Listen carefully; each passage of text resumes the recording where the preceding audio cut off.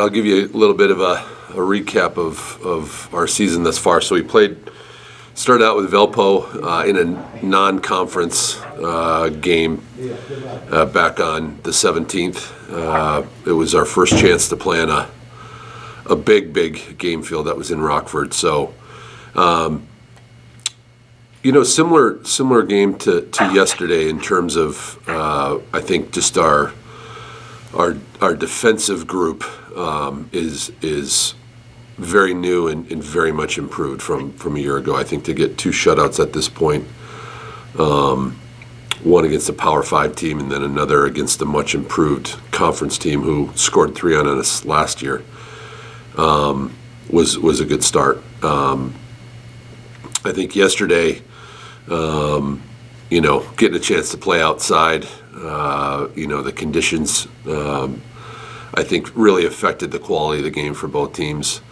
Um, but again, I, I felt like, uh, you know, we talked to our players after the game. Everybody, you know, everybody that came on played well. We had our our second injury.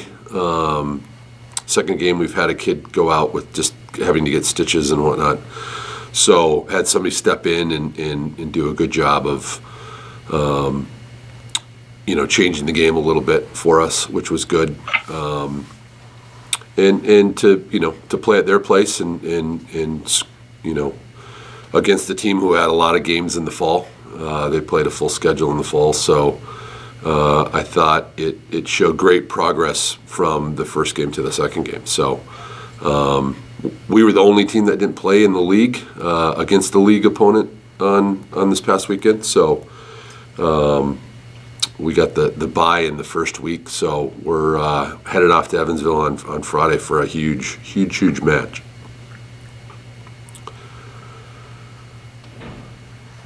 Coach, what's a, a spot you want to see this team uh, really work on improving here early in this season? Well, clearly scoring goals. you know, I, I, we're we're we're so new. It almost feels like a brand new team from from a year ago, just with, you know, 13. I think we've got nine or 10 new starters, uh, depending on how you you look at. We've got one kid that's starting in the spot that she didn't she hadn't played at all in her first three years. So.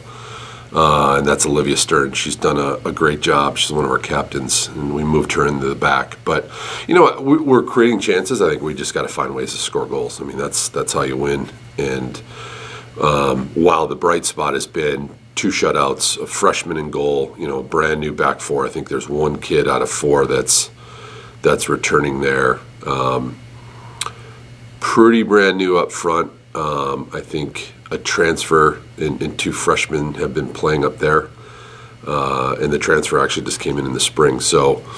Um, we got to score goals. We got to find ways to score goals. So I, I, thought that would be something we would be able to do this year, and I think it's, you know, just the adjustment. You know, last week I think was was tough. Um, you know, you're practicing on a 50 by 50 yard space for, you know, 10 days leading up, you know, to a game that when you you jump out and play on something that's you know 75 by 120 it's it, that's a big difference so you, it takes you a while to kind of get into the game um, but that's you know that's the spring. That's that's what we're faced with, and better days and better weather are ahead. So we'll we'll get a, a chance to you know to hopefully get outside in the next couple days, and then certainly the day before. So, but yeah, scoring goals is definitely the the thing I want to see us most improve on.